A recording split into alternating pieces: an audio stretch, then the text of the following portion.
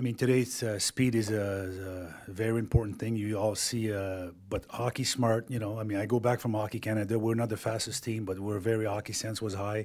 We're fast. We're uh, we're a team that uh, obviously having the best player, it's different. But I think uh, speed, uh, it's something we're looking at, and obviously we made some changes, you know, as far as leadership role, and I think you know the biggest leadership comes within the room, and I think with the changes we made as a group, I think our team is uh, is in better shape now.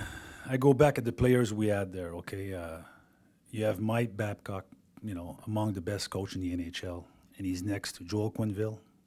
I think three Stanley Cup in the last six years. Claude Julien, Stanley Cup winner. Barry Trotz, one of the best coach.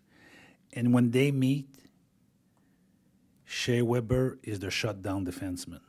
So the best mind in hockey, they have all kinds of players there on defense, but it's Shea Weber against Ovechkin, against Patrick Kane, against whoever, Hossa. He's the guy. So that makes me feel like, you know what? What we saw, it's what they see too. And these guys are among the best. So are we all wrong here?